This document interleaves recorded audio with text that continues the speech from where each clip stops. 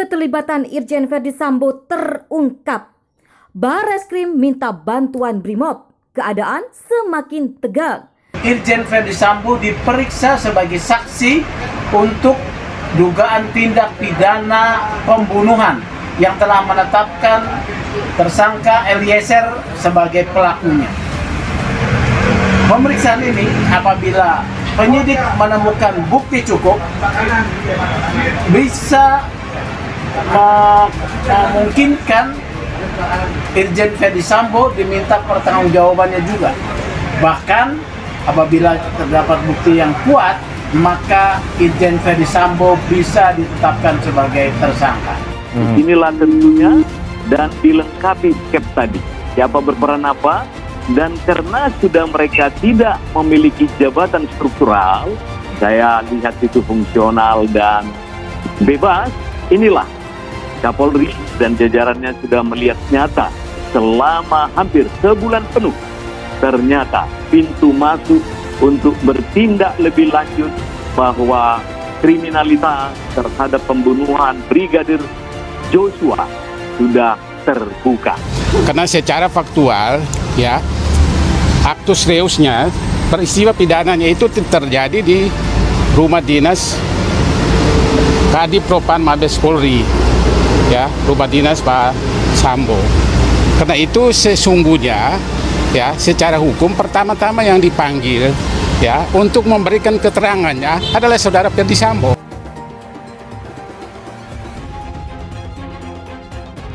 Dikutip dari jpnn.com. Jakarta. Irjen Verdi Sambo pada Sabtu 6 Agustus sore dibawa ke markas Kop Brimob untuk ditempatkan di tempat khusus dalam rangka pemeriksaan pelanggaran prosedur penanganan kasus Brigadir Nofriansah Yusua Huta Barat atau Brigadir J.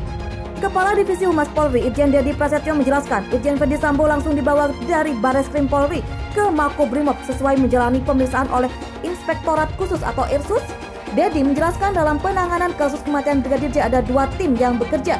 Pertama, tim khusus tim sus bekerja secara pro justisia untuk mengungkap peristiwa pidananya. Kedua, Irsus yang bertugas untuk mengungkap pelanggaran kode etik dalam penanganan kasus ini. Dia memastikan penempatan khusus terhadap Ferdi Sambo bukan dalam rangka penahanan dan penetapan tersangka karena proses tersebut dilakukan oleh Irsus bukan tim sus. Suami Putri Chandrawati itu diduga melanggar suami Putri Chandrawati itu diduga melanggar prosedur penanganan tempat kejadian perkara tewasnya Brigadir J di Duren 3 Jakarta Selatan. Pelanggaran prosedur yang dilakukan kata Dedi seperti tidak profesional penanganan TKP dan mengambil CCTV di sekitar TKP.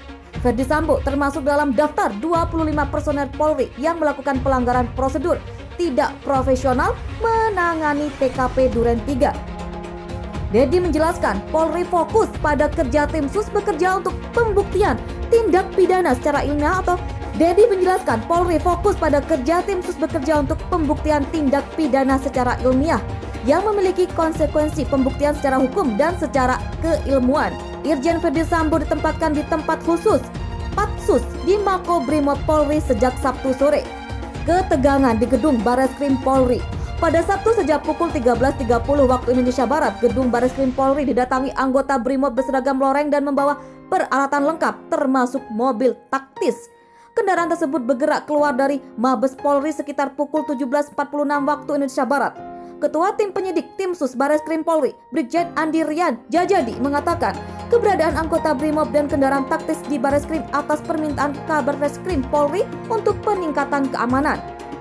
Brigadir J dieksekusi hingga bertekuk lutut. Dikutip dari Pantau, kuasa hukum Baradae Muhammad Burhan mengatakan bahwa Barada Richard Eliezer alias Baradae adalah saksi kunci apakah kematian rekan kerjanya Brigadir Nopriansah Huta Barat dieksekusi atau tidak. Muhammad Burhan mengatakan bahwa tidak ada terjadi tembak-menembak di tangga rumah dinas Irjen Ferdi Sambo Jumat 8 Juli 2022. Hal ini senada dengan tulisan yang dibuat Baradae dan kemudian di BAP. Dalam wawancara di TV swasta, presenter Aiman bertanya, apakah Brigadir J dieksekusi hingga bertekuk lutut? Tidak bisa cerita gamblang, tapi sudah tergambar oleh Baradae di sana. Mungkin arahannya ke sana, eksekusi hingga bertekuk lutut. Paparnya dalam wawancara di salah satu TV swasta Minggu 7 Agustus 2022. Namun, saat ditanyakan siapa yang membunuh Brigadir J, Burhan enggan membeberkan siapa pelaku yang menembak Brigadir J. Burhan juga menyampaikan bahwa segala keterangan Baradae sudah disampaikan dalam berita acara pemeriksaan atau BAP. Hingga berita ini diturunkan, Baradae masih berstatus tersangka.